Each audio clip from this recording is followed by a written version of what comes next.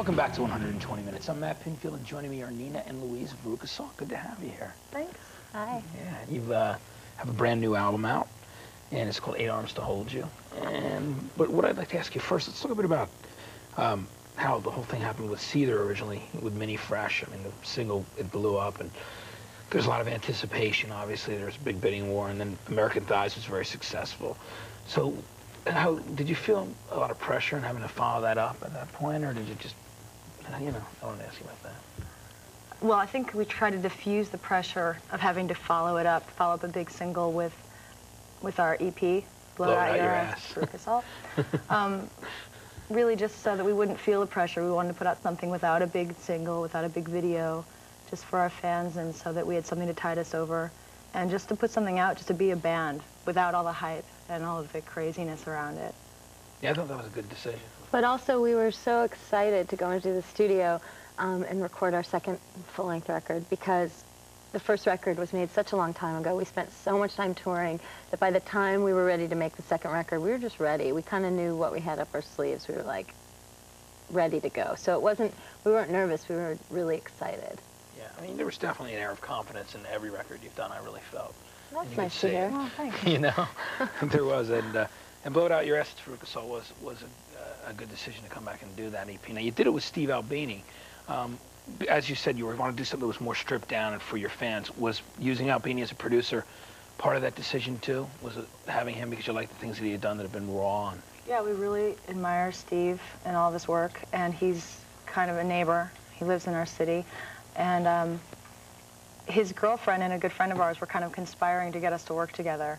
And um, it really it really didn't take much because we were really dying to work with him. So it was easy, quick. He's a very pragmatic um, engineer slash recorder. I don't think he likes to be called producer. And it was just the best thing we could do. He's also very right. foul-mouthed.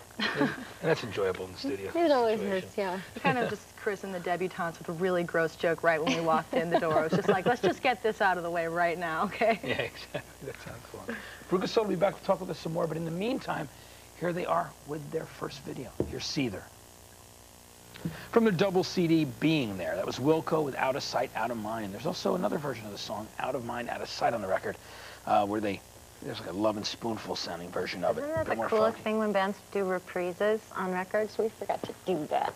Yeah, well, we have plenty more records, plenty more chances to do know, that. But it's just cool. It's cool to, I don't know, reprises and referring to yourself and that kind of thing. We're into that. Now, in uh, in Volcano Girls, in the song, um, you refer back to Seether, by the way, which, uh, and you do the, the glass onion thing from the Beatles, where, you know, you do the whole clue yeah. situation.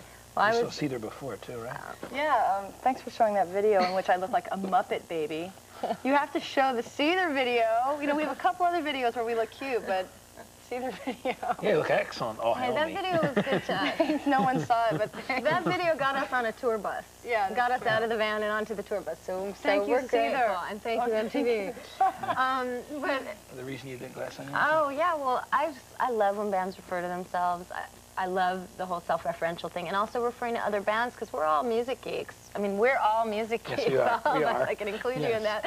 Um, where you know, you just like we just we love wearing our influences on our sleeves and, and, and talking about and our yes. Killer Kiss Destroyer boots, right? No, arena boots. I love those. Get ready for arena rock. Yeah, because you're gonna be opening for Bush. That's gonna be. Uh, That's right. Good time. But you know, you've got to. It's like I don't know. I just think of being in a band as like being in a club or something, and it's fun to just like have little references to things. I mean, putting the Seether thing, the glass onion thing, was just a joke. I just thought it would be funny. Yeah, I don't think it's great. Yeah. Hey, I'm the Seether. Don't deny me that. Yeah, All right, I know you are, and always will be. We'll be back with Veruca Salt in just a bit. In the meantime, here are the top 10 singles on alternative music this week.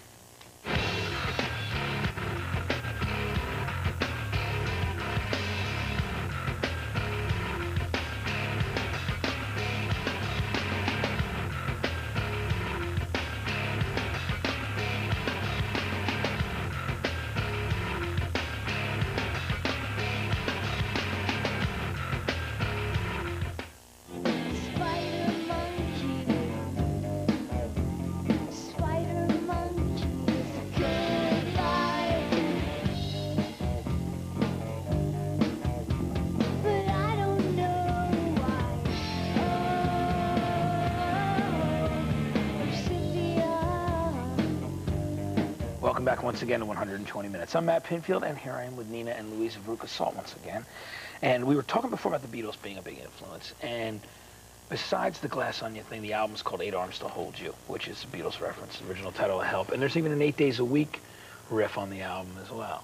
Well, we were basically breastfed the Beatles. I mean, from birth, we were just inundated with the Beatles. Abbey Road was my my first record, and um, and Ringo Starr's solo album. Ringo? I confess, I love Ringo. I love George. Oh, I love John. I- Come on. We all love Paul. We admit it. Um, He's a cat. so anyway, so we love the Beatles, and it's we just like tipping our hats to the people who've shaped our musical lives. And we talk about wearing our influences. There's even a song called With David Bowie. Mhm. You know, tell me a bit about that. Was David a big influence on you? Um, he was, as were many people. That song's sort of um, just about basically being a teenager, um, walking down the street listening to a Walkman. I mean, I don't. People probably take this for granted now, but when we were little kids, you couldn't walk down the street and listen No. to music because Walkman. I'm dating myself, but whatever. Walkman were Walkman. Walkmans were invented in the 80s, the Right. early 80s, and it was the coolest thing when suddenly you could walk to school and listen to your favorite band. And so I just, you know, I just walked to school thinking about, you know, fantasizing about being with David Bowie or being a rock star myself like David Bowie and that kind of confusion like do I want to just be with him or do I want to be him, you know? Right. Getting wanting to get close to his or the generic idol's greatness. Right. Yeah. And I, when I say generic idol, I don't mean that there are so many. I mean there are Yeah. few, very few precious. Right, but it's that feeling of listening to your rock idol and just being overwhelmed by that feeling. I mean, for me, it could have been Prince. It could have been Stewart Copeland from Yeah. The Police because Yeah. he was a huge crush of mine.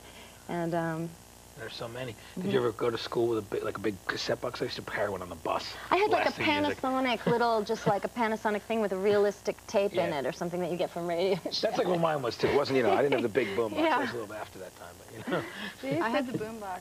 You Did did? you? Yeah. I couldn't, they would get real upset if you carried that into school. Yeah. Anyway, Nina and Louise are going to hang out a little while longer, and we'll have their latest video, Volcano Girls, in just a bit. But first, the 120 minutes debut of the latest from the Mighty Mighty Bosstones. Hopefully, they'll get their uh, credit they deserve. They've been around for a long time on Taang Records, and then now, of course, on Mercury.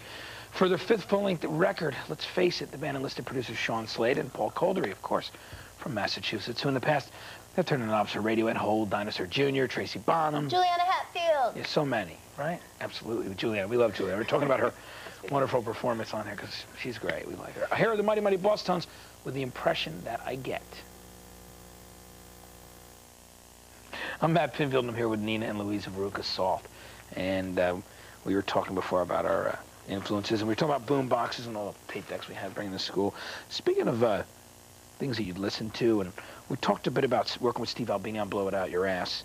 Um, on the new album, Eight Arms to Hold You, you worked with Bob Rock, which was a, which was a real shift in, in producer style. Well, maybe not style, energy's the same, but Bob Rock was worked with a lot of veteran artists, you know, like Bon Jovi and Metallica. Um, were you a fan of Bob Rock's sound that he'd gotten, or was it? Did you feel it was kind of an amalgamation of all the old rock influences you had and the things you want to do, and that he would be able to bring that across for you? Was a Well, co- you said definitely. that beautifully. Yeah, but you just said it basically. We've been saying it the past week. We've been doing a lot of interviews. I haven't seen any of them, I promise. say it that way.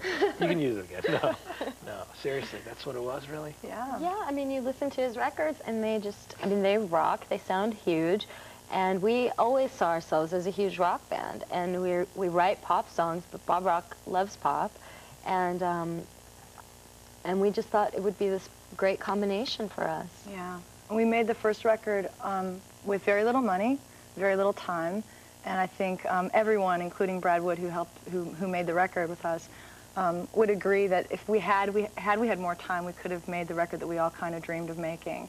But we lived with that record, not feeling like it reflected who we became live for like a year and a half. So we've been waiting a long time to make this record.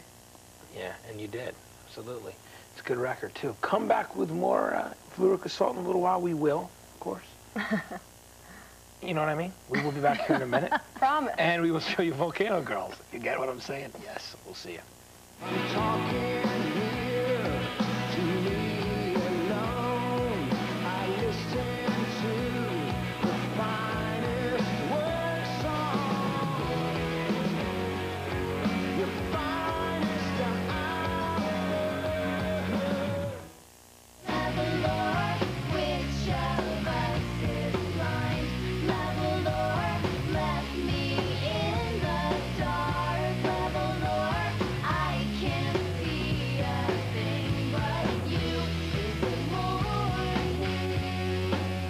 Welcome back to 120 Minutes. I'm Matt Pinfield, and sitting beside me are Nina and Louisa Veruca Salt. And uh, we were talking about the Volcano Girls video that we were going to see that. Now, you had a friend of yours uh, who actually came up with the concept who wasn't even a person who's really familiar with videos.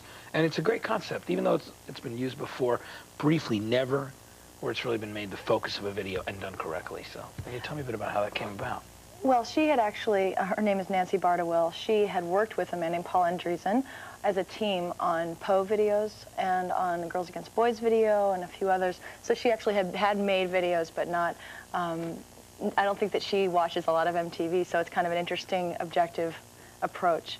And, um, and she came up with a, with a concept for bungee cords, and we sort of were worried, you know, we thought we could end up like the bungee band. And Well, right, and also when I read it and the treatment, um, when I read the video treatment, it sounded like I thought about the Panama video for Van Halen or the Living on a Prayer video for Bon Jovi, and I thought, we don't want to do that. We can't do that. But that isn't at all what she had in mind. She she had never seen those videos, so she wasn't thinking about like flying back and forth and She, she just has a really strong vision.